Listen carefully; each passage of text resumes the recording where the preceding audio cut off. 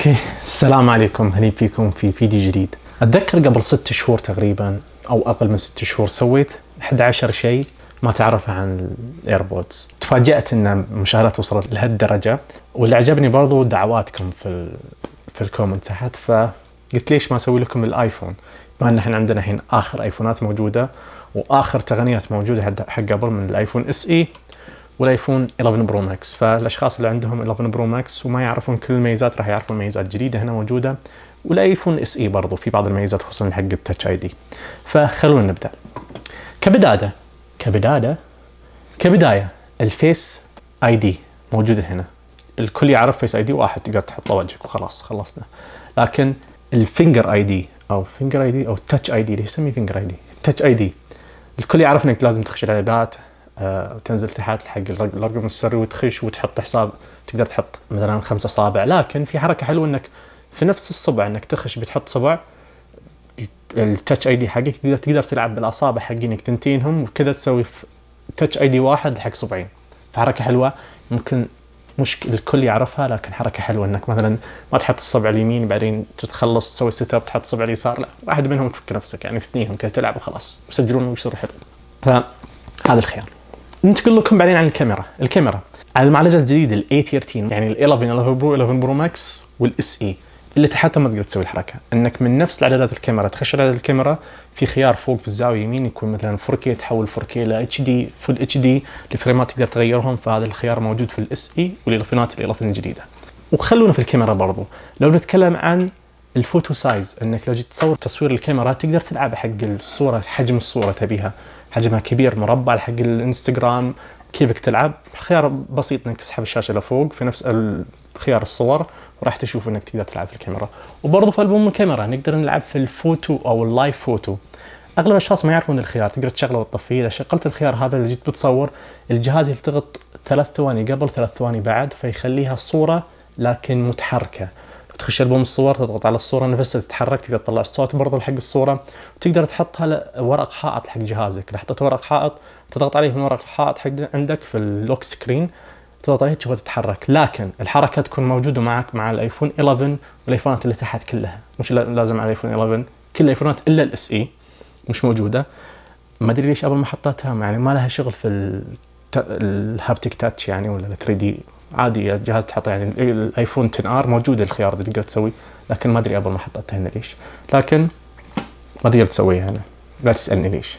لكن تقدر تسوي الحركة إن في ألبوم الصور في الجهاز في الآيفون SE تقدر تخش في ألبوم الصور وتختار على الصورة نفسها تضغط عليها تتحرك عندك. ويطلع صوت برضه سمعتوا كيف؟ صورة.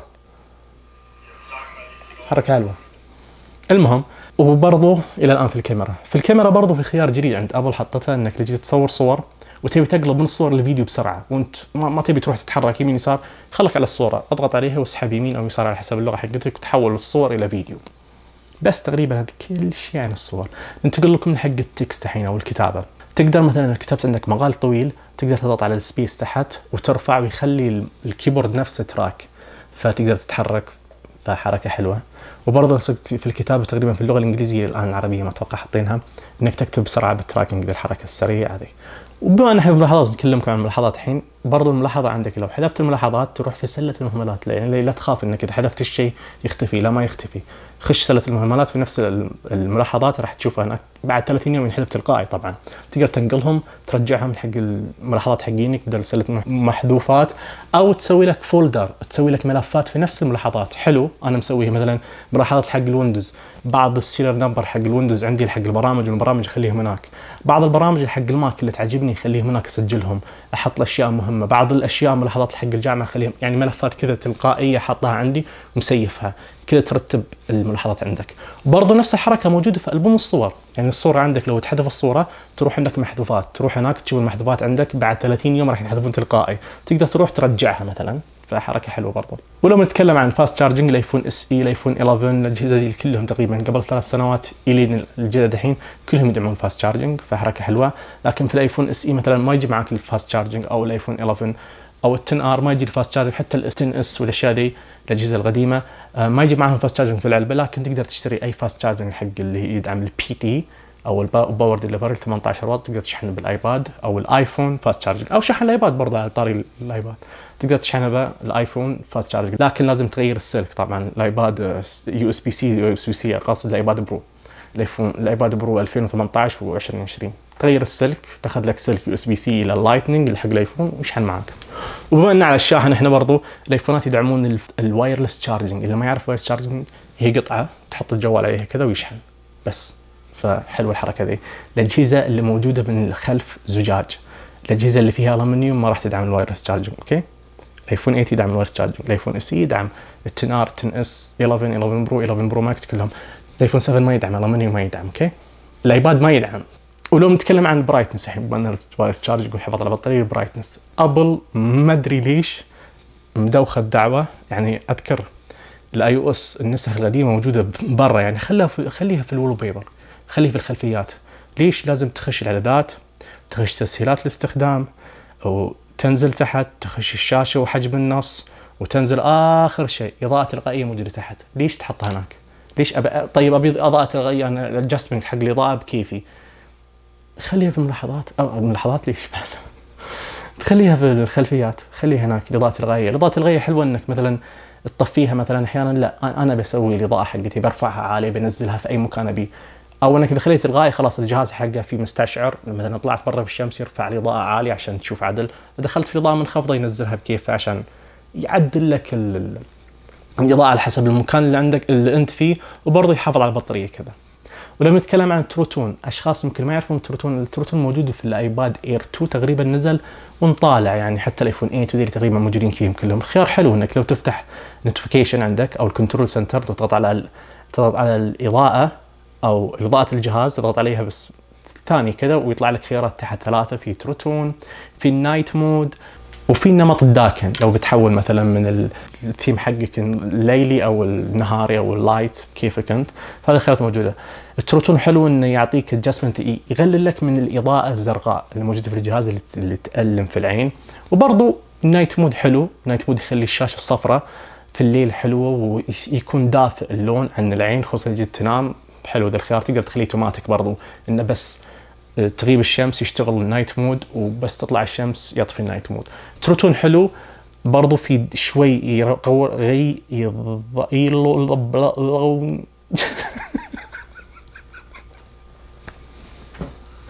يقلل لك مثل ما قلت لك الإضاءة الزرقاء. وحلو حق العين يعني فاستخدمه. ولو نتكلم عن الإرينج أو ترتيب البرامج، ترتيب البرامج تقدر مثلا تضغط على البرنامج تسحب على طول يقوموا يهتزون ترتبهم تقدر تضغط على البرامج الثانية وانت ساحب على برنامج أول واحد تقدر تحطهم في حافظة واحدة تقدر تسحبهم تغير الملفات حقتهم تحطهم مثلا برا في سطح المكتب في صفحة ثانية أو ثالثة. تقدر برضو حذف البرامج تضغط عليهم من فتره مطولة ويطلع لك خيار الحذف تقدر تحذف البرنامج من هناك. برضو لو بنتكلم عن يعني حذف البرنامج بالكامل لأن أحيانا مثلا يجي لك برنامج معلق عندك. طيب تحذفها تروح تحمله من App Store already معلق. شو السالفة؟ في حركة إنك تخلي البرنامج عندك بس تخش الإعدادات تخش عام بعدين تروح حق خيار مساحة تخزين آيفون. بالعربي الاي آيفون. آيفون ما يترجم صح؟ بس إحنا نترجمه. كلمة الآيفون. ننزل هناك نشوف البرامج حقتنا كلهم. طبعا تنتظر على حسب حجم البرامج عندك وكم البرنامج تشوف الجهاز يلعب يلعب يسوي loading لين يطلعون لك تحت. فهناك لو تضغط على البرنامج يجي لك إزالة التطبيق وحذف التطبيق. بنتكلم معاك مع الخيارين ذيلي إزالة التطبيق إيش معناته؟ أحيانا عندك التطبيق مثلا حجمه كبير. برنامج editing أو لعبة مثلا حجمها كبير. وتبي مساحة الحين في جهازك. طيب شو تسوي؟ لا تحذف البرنامج لا خله موجود. سوي له إزالة التطبيق. لو سويت له إزالة التطبيق البرنامج راح ينحذف يعطيك مساحة لكن البرنامج موجود. لو تخش سطح المكتب راح تشوف البرنامج وعليه زي خيار ال cloud خلص أمورك خلص كل شيء وارجع مرة ثانية. أضغط عليه راح يحمل ويحمل لك ال data مرة ثانية ما يحذف أي شيء البيانات موجودة فيه. فهذا الخيار حلو. إزالة أو حذف التطبيق الخيار اللي تحت باللون الأحمر هذه إذا جيت تحذف يحذف لك ال data كلها من نفس البرنامج وكل شيء. يعني جهازك مثلا معلق مثل ما تكلمت قبل شوي تحذفه من هناك وترجع تحمله من ال App Store إن شاء الله يشتغل من عندك. فهذا الخيار اللي يعني شو يسمونها بالعربي تقريبا؟ حذف البرنامج من جذوره. هذا الخيار هنا حفظوا هذه الحركة. أي شخص واحد من الشباب مثلا عنده برنامج معلق ولا شيء يسوي هذه الحركة. إن شاء الله يشتغل معك. وادعوا لي okay؟ بما إن إحنا هنا على البرامج نقدر برضو في خيار ثاني لو تخش الإعدادات تنزل تحت تروح حق App Store و iTunes هذه الكلمة والله مكتوبة بالإنجليزي. يعني جهازي معربه أنا مكتوب بالإنجليزي. فتشوف الخيار App Store و iTunes اضغط عليه. تنزل آخر شيء تحت. في مكتوب خيار إزالة تطبيقات غير المستخدمة. بكيفك تبي تشغلها ولا ما تشغلها بكيفك. لكن ذا الخيار إيش حلو فيه؟ انه مثلا عندك برامج كثيرة في جهازك. في بعض البرامج ما تستخدمهم أنت مثلا. فالبرنامج بالحالة أو الجهاز حقك يعرف بعد فترة أو البرنامج ما تستخدمه فيحذفه لكن يخليه موجود. نفس الخيار اللي قبل شوي وعليه علامة ال iCloud فإذا كنت تحتاجه بعدين ما يحتاج تبحث عنه أو إنك أو انحذف من الجهاز حقك تروح store تكتبه. لا موجود عندك في سطح المكتب أو في سطح الجهاز حقك. أضغط عليه يرجع يحمل مرة ثانية وتستخدم. لكن نفس الخيار اللي قبل شوي برضو حتى ذاك لكن فيه بس حطيت لكم لكن هنا. إذا البرنامج انحذف من App Store لو تضغط عليه ما راح يحمل فبعض البرامج مثلا ابل تحذفهم من App Store أو المبرمج يحذفهم من ال App Store خلاص. فإذا انحذف عندك وعندك ذا الخيار مسويه إنه مسوي لك إزالة من الجهاز أو إنه مسوي حذف تلقائي ترجع تضغط عليه تبي يحمل ما يحمل. ليش؟ لأنه انحذف. لكن إذا كان موجود عندك تلقائي already من قبل وما سويت له ازاله لا يتم شغال عندك إلين ما أنت تحذفه ولا تشوف لك حل وخلاص ينحذف كامل. فهذا الخيار حركة حلوة إنك تبي تسوي مساحة في جهازك. أنا مشغلها طبعا برنامج انحذف الله يرحمه شو لي شغل فيه بعد؟ شوف البرنامج ثاني استخدمه لكن مشغلها عشان في برامج كثيرة عندي في الجهاز وبعضهم ما بيستخدمها أو بعضهم ما استخدمهم الحين. okay موجود الأيقونة حقت البرنامج جاهزة. بعد فترة انحذف أروح أضغط عليه حملة واستخدمه. أطلع شهر ما استخدمته الحاله already ما أدري كم الفترة لكن already الحالة ينحذف من الجهاز يعطيني مساحة مرة ثانية. لكن اضغط عليه مرة ثانية ال data موجودة فيه أرجع أستخدمه. فحركة حلوة. طيب لو نتكلم لكم screen recording الحين. أشخاص كثار يسألوني كيف نشغل screen recording يعني يفتحون الجهاز يروحون حق ال control center اللي هو الخيار هذا اللي موجود هنا في السحب أو حق الآيفونات الجديدة اللي بدون زر الخيار في اليمين أو اليسار تسحبها وتشوف هناك ال screen recorder مش موجوده أحيانا بعضهم صح؟ الجهاز ما ما يحطهم لك.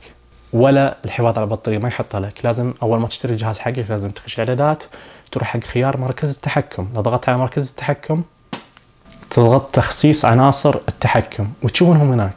الخيار اللي فوق تضمين هذا كلهم موجودين عندك. تسوي لهم برضو تقدر ترفعهم تنزلهم ترتبهم كيفك. تحت مكتوب المزيد من عناصر التحكم. تقدر تضغط على ال plus الأخضر وترفعهم فوق وتسوي لهم ترتيب. هناك في خيار تسجيل الشاشة تضغط على تسجيل الشاشة وتنزله عندك في الجهاز. بس ترفع ال control center تشوف الخيار تقدر تضغط عليه ويصور على طول يحسب لك ثلاث ثواني يبدا يصور. تقدر تضغط عليه force أو ثلاث ثواني يطلع لك خيار إنك تبي تصور صوت تضغط عليه وتقوم تصور صوت. مثلا لما تشرح حق واحد شيء تروح يمين ويسار وتكلمه تقول أوه سوي كذا سوي كذا سوي كذا. انتبه خلاص توقفه مرة ثانية أو من فوق يجي لك بالأحمر ضغط عليه وتسوي له إيقاف ينحفظ عندك في ألبوم الصور وترسله له مثلا. ولا نتكلم عن الإرسال برضو. الإرسال ما يحتاج مثلا واحد من الشباب يمك ما يحتاج ترسل له شيء الواتساب يح... يعني مثلا في صورة عندك أو فيديو أو ملاحظات أو أي شيء أو برنامج برضو. ما تبي بس أوه برنامج ضغط عليه راح الواتساب وارسل البرنامج. ليش الأشياء ذي؟ تحفظ data عندك ليش؟ عندك AirDrop. ما في أفضل منها. اضغط على البرنامج عندك الخيارات وتشوف ال AirDrop موجودة. أضغط عليه خلي صديقك يشغل ال AirDrop موجود في مركز التحكم برضو. دقائق بس ما يحتاج إنترنت عندك ما يحتاج أي شيء. بيشغل لك الواي فاي هو بيرسل بالطريقة الواي فاي لكن ما يحتاج برضو عندك واي فاي بس الجهاز يشغل واي فاي وترسلها بحركة سهلة وبسيطة ترسل صور ترسل فيديوهات ترسل ملاحظات. برضو برامج. تقدر تروح على صفحة البرامج عندك. أضغط على البرنامج 3D Touch يجي لك إرسال. أضغط عليه. شوف ال AirDrop اضغط عليه اختار صديق يكون موجود أو مو موجود اختار اسم صديق الجهاز حقه اضغط عليه وروح للبرنامج تلقائي. أو إنك تسوي البرنامج نفسه بما إن إحنا البرامج الحين تضغط على ال share نفس الحركة وتسوي له نسخ تضغط عليه نسخ خلاص already يروح App Store ينسخ لك الرابط حق البرنامج. روح الواتساب روح سناب شات بس سوي لصق ينلصق أو حتى في الرسائل ينلصق ترسل حق صديقك الرابط حق البرنامج من App Store ما يحتاج تعطيه الاسم وتقول أبحث ولا تسوي screenshot حق الشاشة وتعطيه اياه ما يحتاج الحركه نسخ وارسل الرابط بحركة حلوة وممتازة وسهلة. وبما نتكلم عن النقل فأتمنى كل شخص يستخدم الحركة اللي هي 3D Touch حق البرامج. تضغط البرنامج من ال App Store تضغط البرنامج وانزل تحت بسرعة حق ال update عشان تحدث برامجك. جميع اجهزه ابل يعتبر الحين موجودة الحركة. يعني أول كانت في 3D Touch الحين حولتها ابل لل Haptic Touch فإن مثلا ك software فكل الاجهزه موجودة. حركة حلوة وأتمنى كل شخص يستخدمها لو نتكلم عندكم الحين برضو الحق إنك إجباري تطفي الجهاز مثلا جهازك معلق أو شيء. لأجهزة الآيفون القديمة اللي بالزر زر ال power تضغطه فترة يطلع لك خيار الحذف وتسكر على طول. الأجهزة الجديدة اللي هي بال بدون زر لازم تضغط الخيارين مثلا في الجنب كذا ويجي لك حذف أو الزر اللي فوق الزر اللي تحت بعدين اختار ال power بالحالة يطلع لك الحذف. لكن في خيار ثاني حتى موجود في حق الجديد لأن الأجهزة الجديدة ما فيهم زر حقيقي. ترى الزر اللي تحت مش زر حقيقي. من الآيفون 6 S تقريبا أو 7 ترى الزر اللي تحت مش حقيقي. في Haptic Touch يهز يقول لك إنه كأنك ضاغط عليه. ترى هو مش ضغط. زجاج عادي لكن أبل حطت لك حركة الهابتك تاتش إنه والتابتك تاتش إنه يهز الجهاز حقك يوهمك إنه زر حقيقي وفعلي. فهذه الحركة إن الجهاز مثلا حقك كيف تعرف؟ طف الجهاز كامل لا طفيته كامل جرب اضغط الزر بعد ما يطفي. ما تشوفه يهتز. تحس إنه خربان. لكنه ترى شغال. لكن طافي الجهاز فما ما تقدر تسوي الحركة لما تشغله. فمثلا إذا جهازك علق والخيار عندك هذا إنك ال Haptic Touch فممكن يعلق ما, ما تقدر تضغطه. فالخيار إنك تضغط volume up أو تطويل الصوت تكسير الصوت وتضغط على ال power وتتم ضغط على ال power ما تترك إيدك على الباور. خمس ثواني تقريبا الجهاز راح يعيد تشغيله ذي الحركة موجودة على جميع الايفونات الحين. الايفونات الموجود بالزر على ال Haptic Touch أو آيفونات اللي شو اسمهم ذي اللي بدون زر. وهني إذا حبيت تطلع التقويم الهجري تضيفه مع التقويم الميلادي. مثل ما نشوف الحين بس التقويم الميلادي عندي. فالطريقة إنك تخش الإعدادات تنزل تحت إلى التقويم تفتح التقويم. تخش تقويمات بديلة وتحط تقويم الهجري. كذا خلاص. جهازك الحين راح يكون عليه التقويم الهجري والميلادي مع بعض. نشوف الهجري مكتوب من تحت. مثل ما نشوف. برضو في سطح المكتب أو في الإيقاف هنا. راح تشوفه هنا. موجود. بس. فأتمنى الفيديو عجبكم وحلو وخفيف كان عليكم. وأتمنى إن فهمتوا شيء جديد ما كنتوا تعرفونه عشان تدعون لي تحت. فأتمنى تدعون لي تحت. وتكتبون لي إيش رأيكم في الفيديو؟ هل نكمل الحركة؟ السلسلة لما نكملها. وفي نهاية الفيديو هذا حسابي من سناب شات أتشرف بإضافتكم. لا تنسون الاشتراك بالقناه ونشر المقطع وعمل لك المقطع وتعليقاتكم تحت تهمني ولا تنسوني فضل دعاكم. والسلام عليكم.